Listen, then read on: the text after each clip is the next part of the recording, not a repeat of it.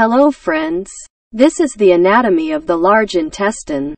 The large intestine, also known as the large bowel, is the last part of the gastrointestinal tract and of the digestive system in tetrapods. Water is absorbed here and the remaining waste material is stored in the rectum as feces before being removed by defecation. The colon is the longest portion of the large intestine and the terms are often used interchangeably but most sources define the large intestine as the combination of the cecum, colon, rectum, and anal canal. Some other sources exclude the anal canal.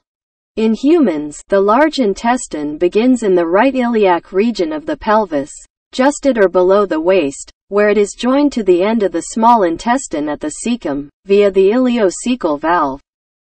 It then continues as the colon ascending the abdomen, across the width of the abdominal cavity as the transverse colon, and then descending to the rectum and its endpoint at the anal canal. Overall, in humans, the large intestine is about 1.5 meters long, which is about one-fifth of the whole length of the human gastrointestinal tract. See the illustration of the large intestine. The colon of the large intestine is the last part of the digestive system.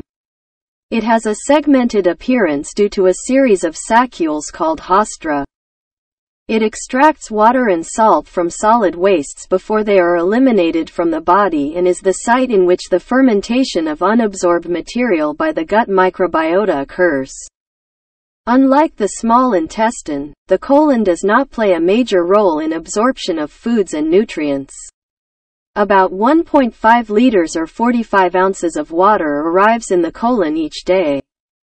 The colon is the longest part of the large intestine and its average length in the adult human is 65 inches or 166 centimeters, range of 80 to 313 centimeters, for males, and 61 inches or 155 centimeters.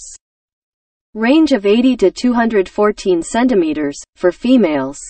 In mammals, the large intestine consists of the cecum, including the appendix, colon, the longest part, rectum, and anal canal. The four sections of the colon are the ascending colon, transverse colon, descending colon, and sigmoid colon.